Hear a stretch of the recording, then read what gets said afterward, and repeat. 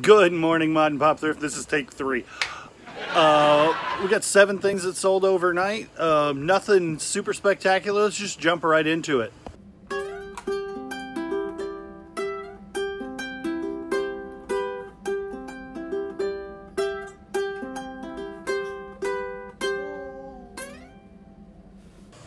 This Dietz uh, hurricane lamp. It's really small, like really small for one of these hurricane lamps. It's a number 50. I just watched a YouTuber that I follow make a video about how these work and why they're important and whatever. And I saw this one for 250. You guys probably saw it on the last video.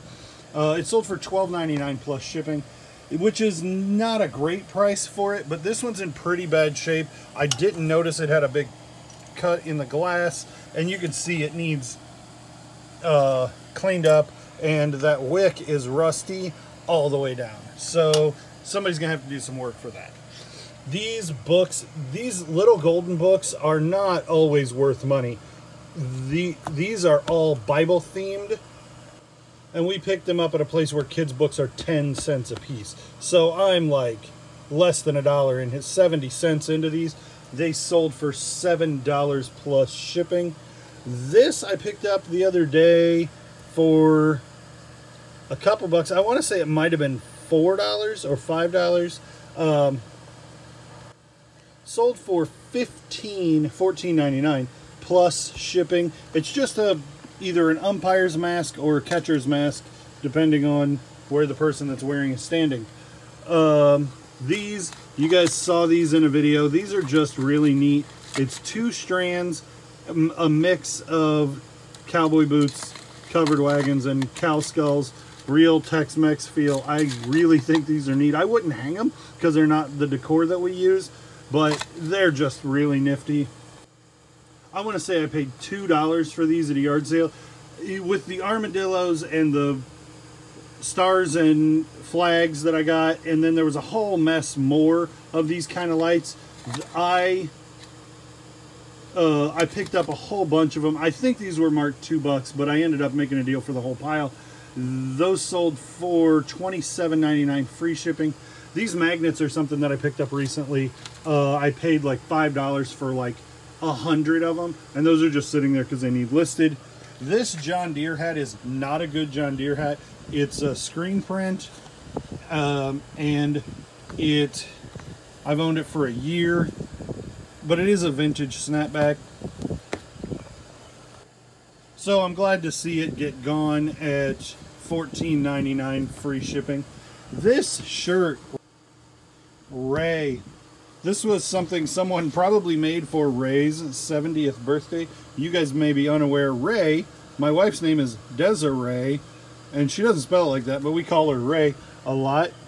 Uh, this Screen Stars tag is a really good one. This kind of shirt I feel like people struggle with. It's three quarter sleeve. It has the baseball, old baseball jersey feel. This is called a raglan. R-A-G-L-A-N. Raglan shirt. That's the style that that three-quarter sleeve is. This is dated 1986. This may be my favorite shirt that I've ever picked up. Not that it's got some huge Provenance band tour date thing. It's just fun as it can possibly be in its dead stock.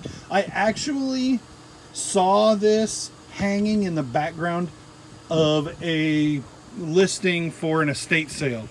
And I called them when it was open and I said, hey, is that shirt still there?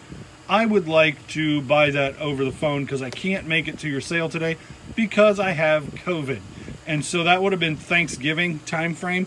And then it got stuck in a box and I forgot about it. And then I pulled it out like two weeks ago. It's been listed. It got lots of interest. This Screen Stars, collectors look for that Screen Stars tag and I don't understand that necessarily, but I do know it's true. So this is this was listed for $27.99 and ended up uh, I had five or six watchers ended up selling it for $24.99 on an offer. These I've had listed forever. Same estate sale company as this guy. Um, I paid a dollar for a box of this kind of stuff. And this was the stuff that was still sealed and new or still obviously unused in the box. It's just old 60s household stuff.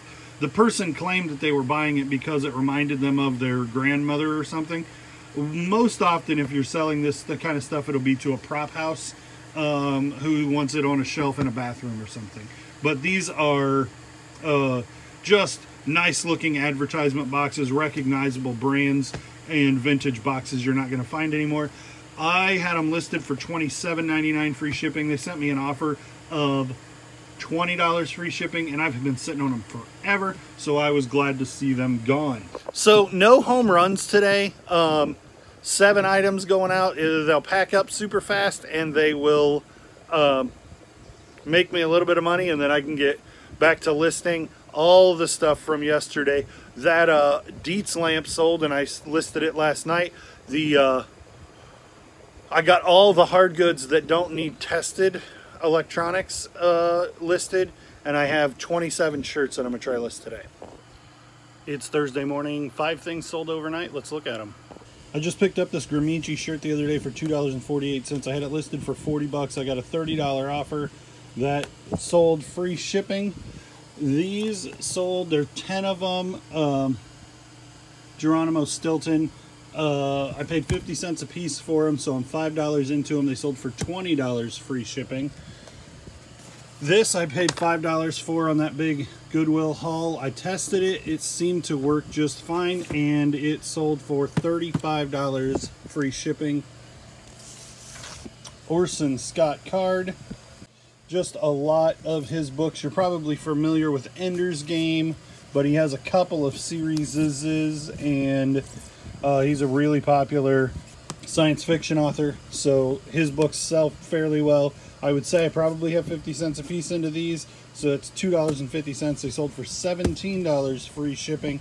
And then this bad boy, I'm sure you've noticed it on the table, sold for $90 uh, plus $5 shipping to Canada.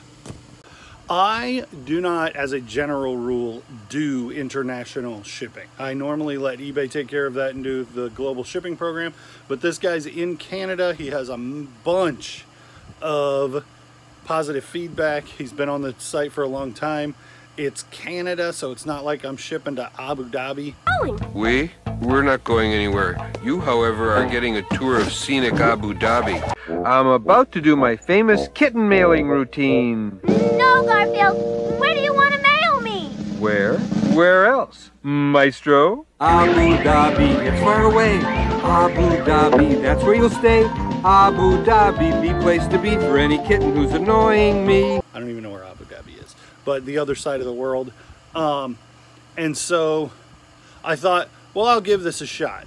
We'll see what happens. Um, I don't know why I decided to take that risk on a hat that's more valuable than almost any hat I've ever sold.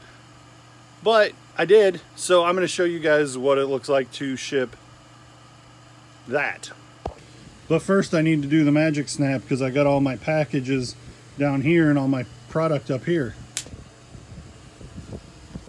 Let's go print some labels and uh, get these off to the man. Okay, so I didn't expect to be able to do this one in bulk, but here it is in the bulk shipments. So let's click on, it says, I don't know if you can read that. Please open the customs form in, uh, and confirm its contents. Customs form. I guess I don't need a, to cover that guy's address right now. That's what we're shipping. That's its value. It sold for 90 plus $5 shipping, so they're calling the value 90. That's fine. Um, 8 ounces. I think I'm going to up that to 11 ounces because it is what it is. Combined is greater than... so. Oh, because I didn't change this one. Okay. Merchandise. So sometimes you'll have people ask you to change this to gift or to sample. Um, and the reason is because if it's a gift, then they don't have to pay the same taxes and duties. Um, that's illegal. Don't do that. Merchandise. I don't need any comments. I have read the shipping prohibitions and restrictions at USPS or eBay and confirm that the information provided above is accurate and that the package is not prohibited by litigation or by postal or customs regulations. Boom. Now that's saying $20. I don't want to do $20. There is an $11 option. Um, so maybe I do need to take this out of the bulk shipping to get my best options. Uh, so then we'll click on that. And remove it. Okay, so trying this again all by itself. I've got it at 8 ounces because that's what hats normally are. If I go to 11, look down here, the number changes from, so it cost me $6 more. So if it's going to be that drastic a difference, I'm going to measure the, I'm going to weigh this thing just to make sure that it's uh, not going to be a problem. And again, we'll click that, which I read aloud, and then it'll be either 17. Let's go measure it. And I'll admit I should have done this ahead of time, but hats are almost always in this size box and they're eight ounces. Uh, but because this one's going international, then I put it in the large, and it's a really expensive hat. I put it in the larger box with some more padding. So let's go measure it.